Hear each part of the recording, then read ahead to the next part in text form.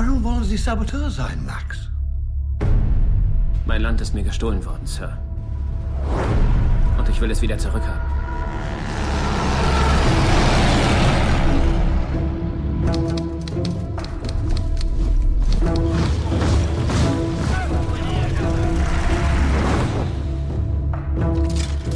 Also nur mit Zeitungen können wir diesen Krieg jedenfalls nicht gewinnen, Jungs.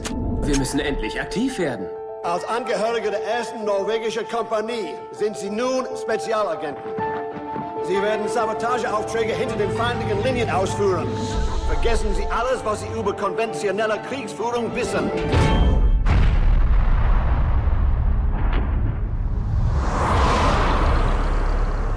Max Manus. Sie gefährden nur das Leben der Zivilbevölkerung, wenn wir nichts dagegen unternehmen. Erwischt die Gestapo auch nur einen aus deinem Netzwerk. Dann haben sie auch dich. Sie foltern meine Freunde und töten sie, um mich zu erwischen. Du kannst jetzt nicht fortgehen. Die werden dich erwischen. Du kannst nicht alle retten, Max.